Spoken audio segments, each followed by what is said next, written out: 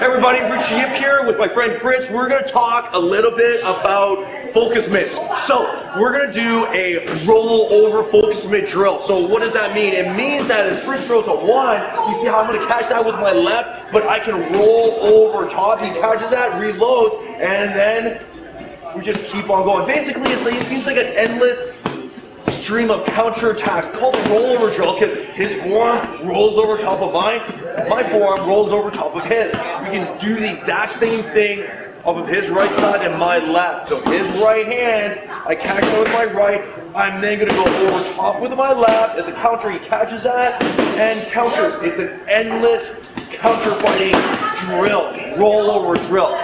But it's a focus mitt drill, meaning that we do this with focus mitts. So I have my focus mitts. My focus mitts are a target, meaning that this represents, this little dot represents my face. One, one, two. Also the focus mitt represents a punch.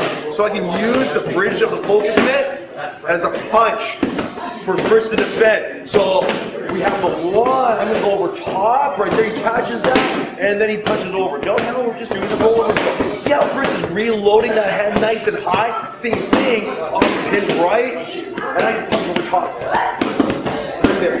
Right? See how we're reloading those punches really, really high? Let's do this wrong here, the two. See how I'm swimming? This is garbage. I reload that punch. So the key thing is, is to mix this in with focus mitt, with our focus mitt drills, meaning that one, two, at any time, I can feed that counter. One, one, two, three, one, two.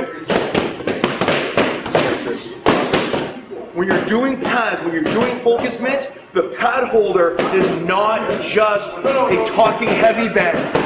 A heavy bag that also hits back. So you want to try and simulate the actual sparring experience. Put rollovers into your drills.